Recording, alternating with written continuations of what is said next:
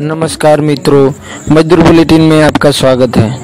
आज दिनांक 2 अक्टूबर 2021 को राष्ट्रपिता महात्मा गांधी जी एवं सादगी के प्रतीक लाल बहादुर शास्त्री जी की जयंती पर श्री कच्छ जनरल मजदूर संघ के पदाधिकारी और संघ के अध्यक्ष श्री संतोष मिश्रा जी ने महात्मा गांधी जी एवं श्री लाल बहादुर शास्त्री जी को याद करते हुए उन्हें श्रद्धांजलि दी एवं मजदूरों को अपना संदेश प्रेषित किया।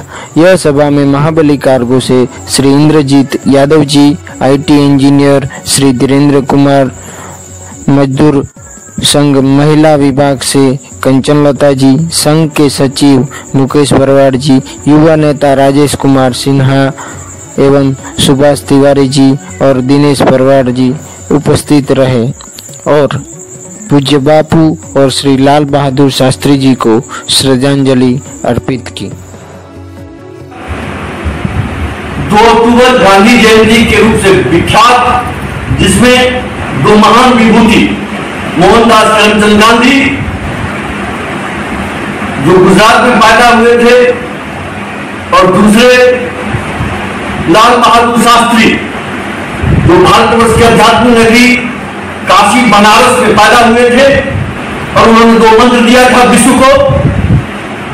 एक ने मंत्र दिया था कि सत्य बोलो और अहिंसा के मार्ग पर चलो और ये पूरा विश्व इस मंत्र को मंथन कर रहा है। और हरित क्रांति के जनक शास्त्री जी और तभी नारा आया था जय जवान, जय किसान। आज भारत वर्ष अनाज विपुल भंडार में भरा है। तो आज गुजरात के कच्छ की इस धरती से